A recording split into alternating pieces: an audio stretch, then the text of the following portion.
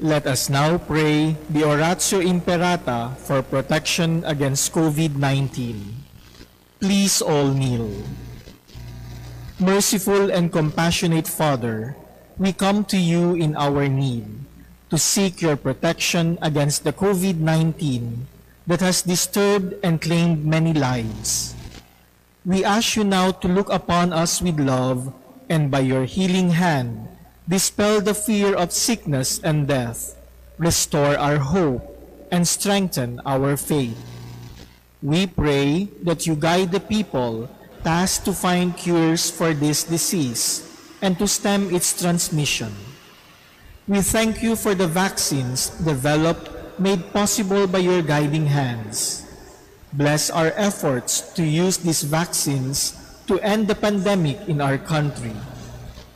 We pray for our health workers that they may minister to the sick with competence and compassion. Grant them health in mind and body, strength in their commitment, protection from the disease. We pray for those afflicted. May they be restored to health. Protect those who care for them. Grant eternal rest to those who have died. Give us the grace in these trying times to work for the good of all and to help those in need. May our concern and compassion for each other see us through this crisis and lead us to conversion and holiness.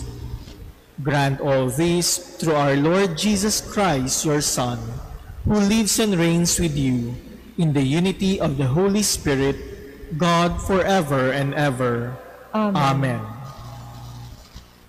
We fly to your protection, O Holy Mother of God. Do not despise our petition in our necessities, but deliver us always from all dangers. O glorious and blessed Virgin. Amen. Amen. Our Lady, health of the sick, Pray for us. Saint Joseph, Pray for us. Saint Raphael the Archangel, Pray for us. San Roque, Pray for us. San Lorenzo Ruiz, Pray for us. San Pedro Calungsod, Pray for us. Contend, O Lord, with my contenders. Fight those who fight me. Take up your buckler and shield. Arise in my defense, Lord, my mighty help. In the name of the Father, and of the Son, and of the Holy Spirit, Amen. the Lord be with you. And with your spirit.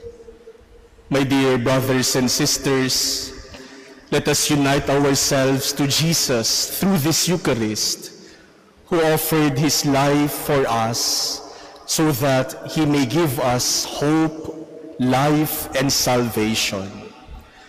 Let us now be sorry for our sins and ask the forgiveness by which we are renewed and saved.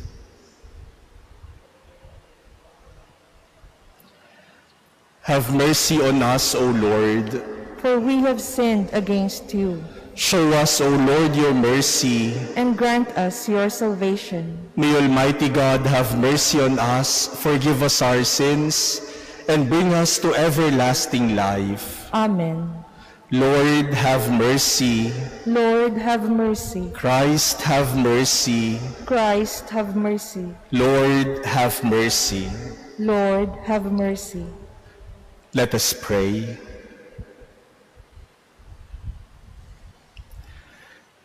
Grant, we pray, Almighty God, that through that though in our weakness we fail, we may be revived through the passion of your only begotten Son, who lives and reigns with you in the unity of the Holy Spirit, one God, forever and ever. Amen.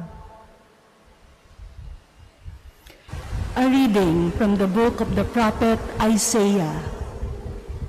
Here is my servant, whom I uphold, my chosen one, with whom I am pleased, upon whom I have put my spirit. He shall bring forth justice to the nations, not crying out, not shouting, not making his voice heard in the street.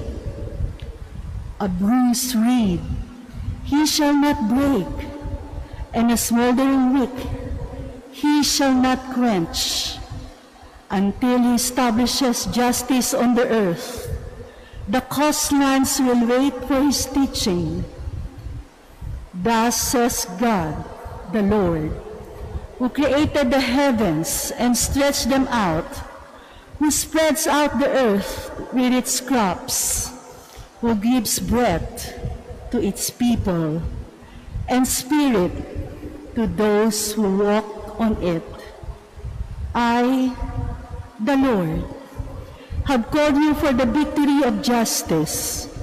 I have grasped you by the hand. I formed you and set you as a covenant of the people, a light for the nations, to open the eyes of the blind, to bring out prisoners from confinement, and from the dungeon, those who live in darkness. The word of the Lord. Thanks be to God. The Lord is my light and my salvation. The Lord is my light and my salvation. The Lord is my light and my salvation. Whom should I fear? The Lord is my life's refuge. Of whom should I be afraid? The Lord is my light and my salvation. When evildoers come at me to devour my flesh, my foes and my enemies themselves stumble and fall. The Lord is my light and my salvation. Though an army encamp against me, my heart will not fear. Though war be waged upon me, even then will I trust.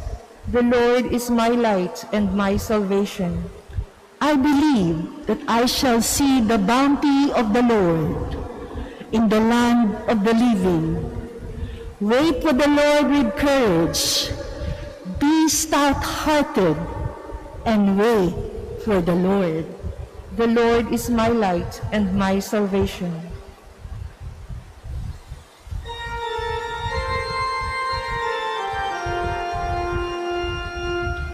Nagpupuri kami sa iyo, Hari namin, Yeso Kristo, ang pagdamay mo sa tao.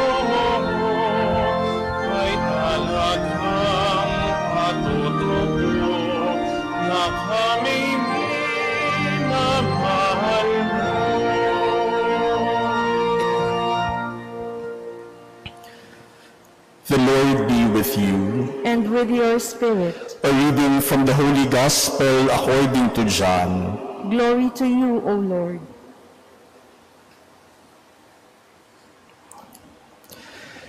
Six days before Passover, Jesus came to Bethany, where Lazarus was, whom Jesus had raised from the dead. They gave a dinner for him there, and Martha served, while Lazarus was one of those reclining at table with him. Mary took a liter of costly perfumed oil made from genuine aromatic nard and anointed the feet of Jesus and dried them with her hair.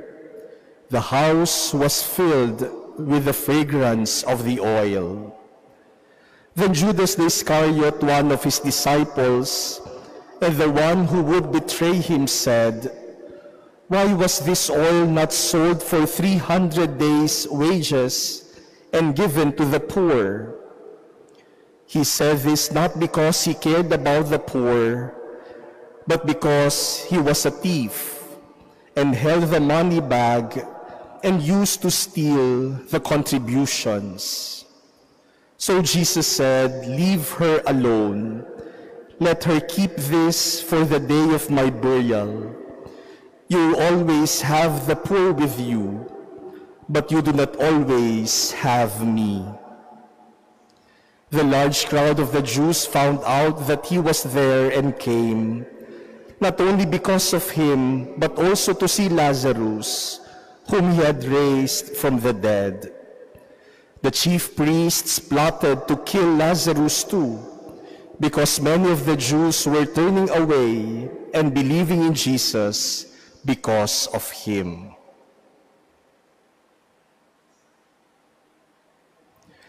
The Gospel of the Lord. Praise to you, Lord Jesus Christ. My dear brothers and sisters, on this Monday of the Holy Week, the virtue of tenderness surface in our readings today. Our first reading today and for the next days are taken from the book of the prophet Isaiah. That section of the book of the prophet Isaiah about the suffering servant of God. And in today's first reading, we are given a description of the suffering servant the suffering servant will bring forth justice to the nations, not crying out, not shouting, not making his voice heard in the streets. A bruised reed he shall not break, a smoldering wick he shall not quench. Ang lingkod ng Panginoon ang siyang magpapairal ng katarungan. Mahinahon at banayad siyang nagsalita, ni hindi nagtataas ng kanyang tinig. Ang marupok na tamboy, hindi niya babaliin. Ang ilaw na aandap-andap, hindi niya papatayin. That is how tender the servant of God is. Mahinahon at banayad sa pagsasalita. Hindi nagtataas ng kanyang tinig. Yung marupok na tambo, hindi niya babaliin. Kasi minsan marupok na nga, binabali pa natin. Yung ilaw na andap-andap, hindi niya papatayin. Ganyan siya kahinahon. Ganyan siya kabanayad. That is how gentle and tender the suffering servant is. And in our gospel today, we heard about Mary, the sister of Martha and Lazarus, who anointed the feet of Jesus and wiped them with her hair. It was a beautiful, a tender, an intimate moment. Jesus receives tenderness and caring from Mary. My dear brothers and sisters, Pope Francis several times has emphasized the importance of tenderness. And according to Pope Francis, tenderness is not a sign of weakness. Akala natin yung banayad at mahinahon ay kahinaan. Pope Francis said, no, to be tender is not to be weak. In fact, to be tender is a sign of strength. For only those who are strong can truly be tender. Only those who are strong can show tenderness. Come to think of it, my dear brothers and sisters, the weak have many mechanisms in order to defend themselves. They shout, they intimidate, they bully, They threaten, they torture, they punish. And why do they do this? Because they want to defend themselves. Takot na takot sila dahil alam nilang mahina sila. Kaya pangungunahan na nila ng paninindak, paninigaw at pananakot. But those who are truly strong will always be gentle, will always be tender, will always be at peace. Because they are so secure, they are so sure of themselves, they could be at peace. My dear brothers and sisters, this Holy Week, especially as we enter the Easter Triduum, we shall witness how tender and gentle Jesus is. He does not fight back. He does not retaliate. He just keeps his silence. Hindi siya gumaganti. Siya ay nanatiling tahimik at mahinahon kahit sa harap ng maraming umuusig at nagpapahirap sa Kanya. And Jesus is able to do this not because He is passive, hindi dahil sinabi niyang, oh, sige, bahala na kayo, gawin niyo kung anong gusto niyo. Jesus is able to do this because He was so sure of where His strength lies. Tiyak na tiyak siya kung saan nanggagaling ang kanyang lakas. He is always gentle. He is always kind. He is always tender.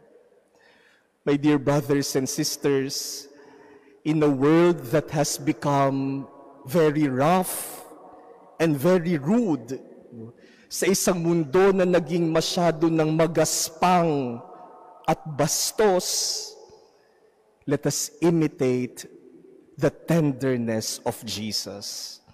Let us recover tenderness because as Jesus shows us, it is only tenderness that can save the world. It is through our being gentle, tender, and loving each other that we could experience new life.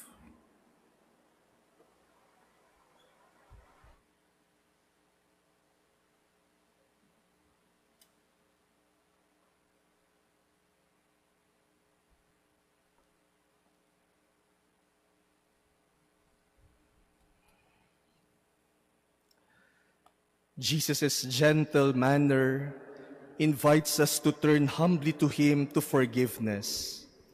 Assured of His compassion, let us bring our petitions before Him, and for every petition, let us say, Lord, hear our prayer. Lord, hear our prayer. that those who are suffering and experiencing difficulties in life may bear their trials with patience. Let us pray to the Lord Lord, hear our prayer. that prisoners may have the consolation of the Spirit. Let us pray to the Lord Lord, hear our prayer.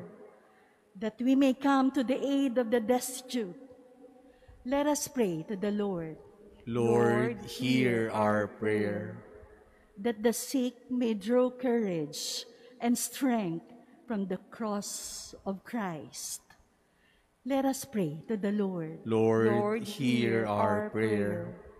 that those who have gone ahead of us in this life may rest in God's peace. Let us pray to the Lord. Lord, hear our prayer. Let us pray in silence for our personal petitions. Let us remember the people who need our prayers and the intentions offered in this Mass.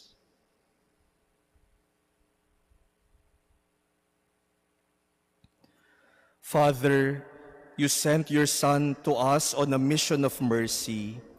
Grant that we may always be comforted by his gentleness and strengthened by his presence in our lives.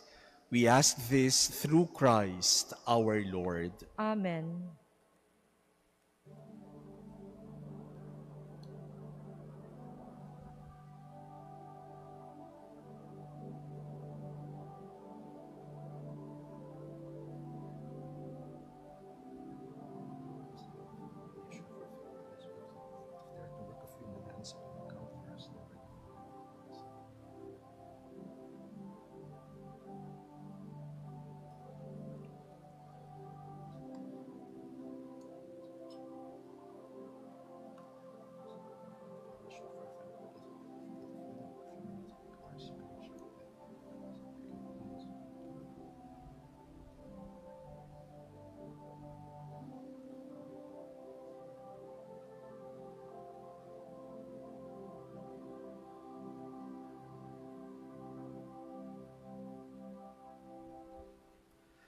Pray, brothers and sisters, that my sacrifice and yours may become acceptable to God the Almighty Father. May the Lord accept the sacrifice at your hands for the praise and glory of his name, for our good and the good of all his holy church. Look graciously, O Lord, upon the sacred mysteries we celebrate here, and may what you have mercifully provided to cancel the judgment we incurred bear for us fruit in eternal life through Christ our Lord. Amen. The Lord be with you. And with your spirit, Lift up your hearts. we lift them up to the Lord. Let us give thanks to the Lord our God. It is right and just. It is truly right and just, our duty and our salvation, always and everywhere to give you thanks, Lord, Holy Father, Almighty and eternal God, through Christ our Lord.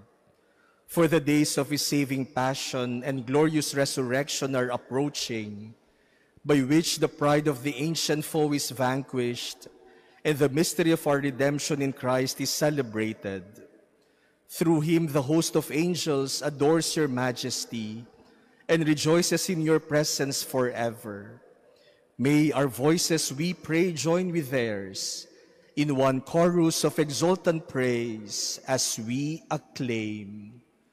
Holy, holy, holy Lord God of hosts, heaven and earth are full of your glory. Hosanna in the highest. Blessed is he who comes in the name of the Lord. Hosanna in the highest. You therefore, Almighty Father, we bless through Jesus Christ, your Son, who comes in your name. He himself is the word that brings salvation, the hand you extend to sinners, the way by which your peace is offered to us. When we ourselves had turned away from you on account of our sins, you brought us back to be reconciled, O Lord, so that converted at last to you, we might love one another through your Son, whom for our sake you handed over to death. And now, celebrating the reconciliation Christ has brought us, we entreat you, sanctify these gifts by the outpouring of your Spirit, that they may become the body and blood of your Son, whose command we fulfill when we celebrate these mysteries. For when about to give his life to set us free, as he reclined at supper, he himself took bread into his hands, and giving you thanks, he said the blessing, broke the bread, and gave it to his disciples, saying, Take this, all of you, and eat of it, for this is my body which will be given up for you.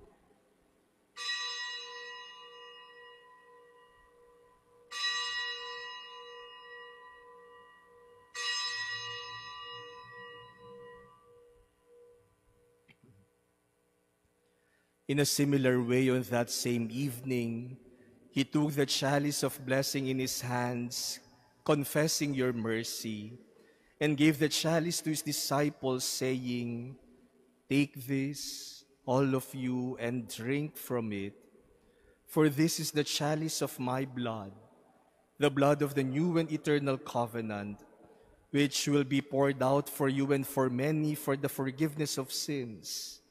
Do this in memory of me.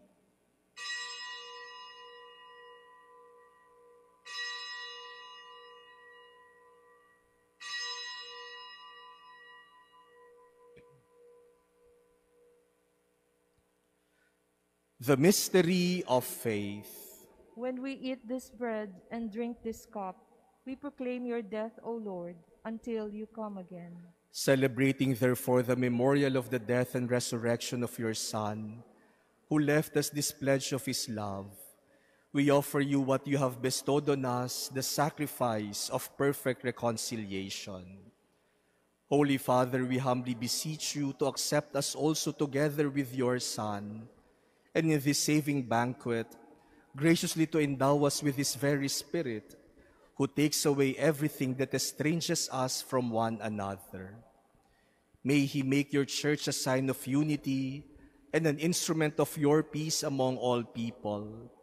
And may he keep us in communion with Francis our Pope and Broderick our Administrator, and all the bishops and your entire people. Just as you have gathered us now at the table of your Son, so also bring us together with the glorious Virgin Mary, Mother of God, with your blessed with blessed Joseph, her spouse, with your blessed apostles and all the saints, with our brothers and sisters, and those of every race and tongue who have died in your friendship.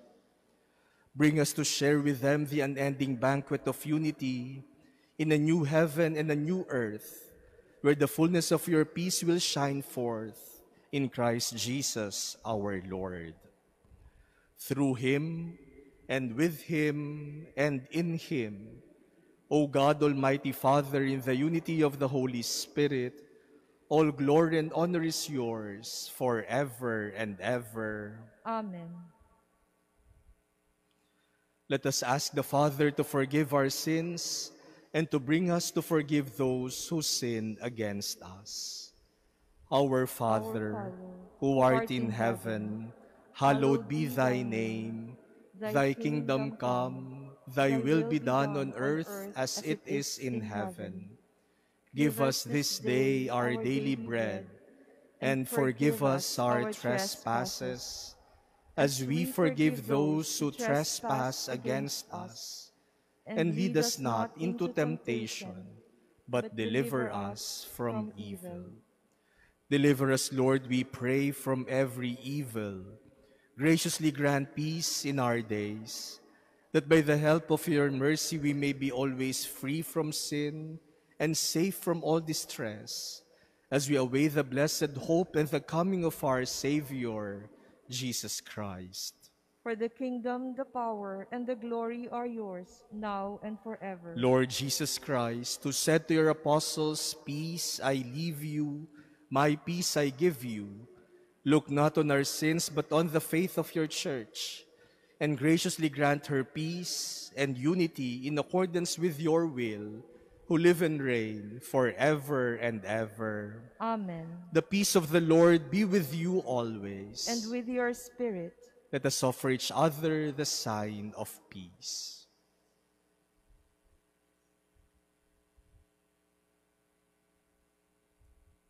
Lamb of God, you take away the sins of the world. Have mercy on us. Lamb of God, you take away the sins of the world. Have mercy on us. Lamb of God, you take away the sins of the world. Grant us peace.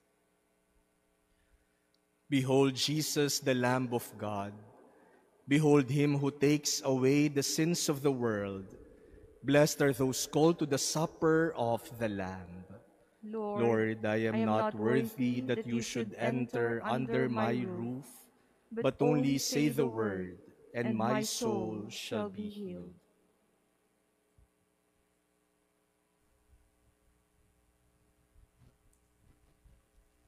Act of Spiritual Communion My Jesus, I believe that you are present in the most holy sacrament.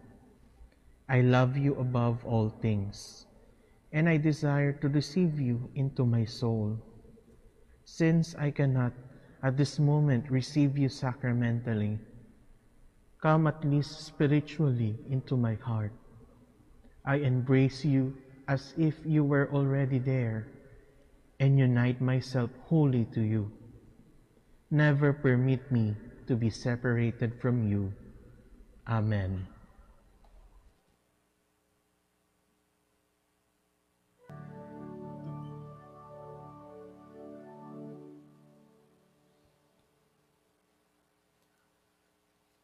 Let us pray. Visit your people, O Lord, we pray, and with ever watchful love, look upon the hearts dedicated to you by means of these sacred mysteries, so that under your protection, we may keep safe this remedy of eternal salvation, which by your mercy we have received through Christ our Lord. Amen.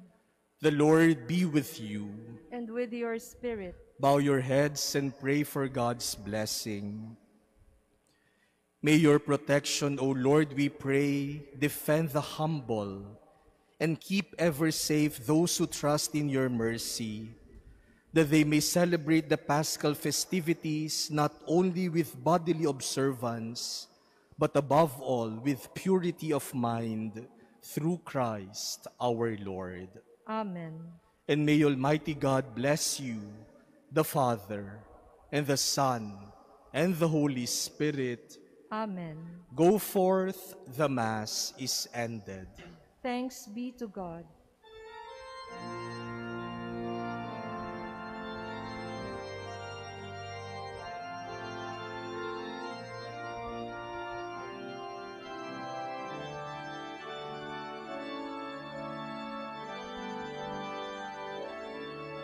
We